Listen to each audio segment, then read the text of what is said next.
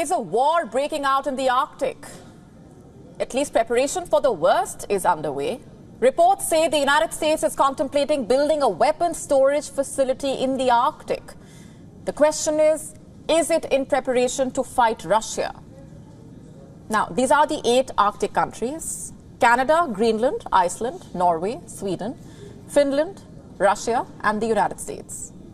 Seven out of eight are NATO members. They consider an armed attack against one member as an attack against all. Remember, Finland and Sweden are the newest NATO members. The Russian President Vladimir Putin's fear has made them join the bloc. And now it is NATO's time to do its bit, you know, to ensure Finland and Sweden are protected, to ensure its weapons are deployed in the Arctic accordingly. Right now, America's APS or Army Prepositioned Stocks are placed in two sites in Germany, in Dülmen and Mannheim.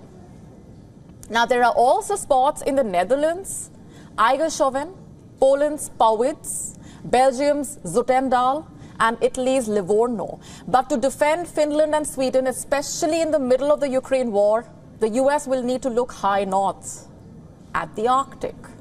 And where exactly? Norway is being looked at a, as, as a possible option. And how exactly do we know that? Well, meet Major General Ronald Ragin. He is the commanding general for America's 21st Theater Sustainment Command. And he recently said that Norway could be an option for future APS. Could it be near Svalbard? Did you know Norway Svalbard archipelago is the world's northernmost permanent human settlement? Svalbard, in fact, is also very close to Russian Kola. That's where Moscow has a submarine stationed.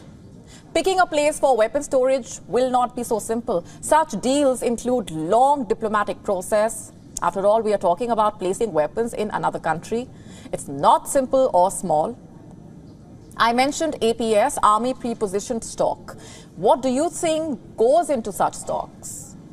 The current European sites have equipment that's worth sustaining an armored brigade combat team. There are also engineers, artillery, military police, medical capabilities. These are huge spaces. The Zutendaal stock site, for example, has 28 warehouses. These have 990,000 square feet of space. Plus, you have an additional 77,000 square yards of outdoor staging, 27 maintenance bays, 12,000 square feet of hazardous material storage, and more. Where in Norway could such a place come up is the question. And if not Norway, then where? Look at some of the places where Russia is stationed. There is the Olenegorsk site in the Kola Peninsula. There is also Vorkuta, which is just north of the Arctic Circle. At Ostrovnoye, by the Barents Sea, Russia reportedly has resonance and radar systems. Russia claims this radar system can detect stealth aircraft and objects. In fact, Russia has deployed this radar at the Arctic. It also has runways in the Arctic. Reports claim there are weatherproof enclosures at Russia's Tiksi air defense site. You see, the Arctic has been a very important oil and gas sector for Russia. Nearly 20% of the country's GDP comes from the Arctic area. So the country has had its hold over the region for a while now. And over the years, Russia has deployed military resources there. It has refurbished old Soviet bases in the Arctic. And Russia has tested hypersonic missiles in the Arctic. Not too long ago, Chinese and Russians jointly patrolled waters in the Arctic near Alaska. And by the way, in 2018, in a 2018 declaration rather, China called itself a near Arctic power. It designates the Arctic for considerable investment and considers Russia as a potential partner in the Arctic. But that's a story for another day. Today, things are fast changing in the Arctic to say the least. Polar ice caps are melting, new shipping routes are opening up. And Asia Europe sea route along the Russian coast could significantly cut the journey time. We are basically looking at around two weeks less. The northern sea route is already garnering a lot of attention. And if this route becomes a vital shipping lane, then Russia gets to control almost all of this route. It also gets a huge diplomatic and economic leverage. And the West knows this. There is something else as well it is concerned about.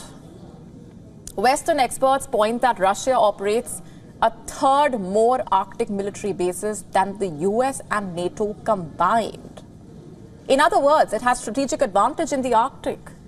And that's not even all. There is also the century old treaty allowing Russians to live in Svalbard visa free.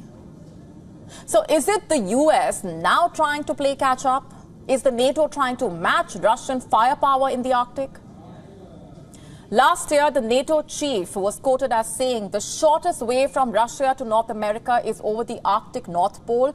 So the strategic importance of these areas has not changed because of the war in Ukraine, quote unquote.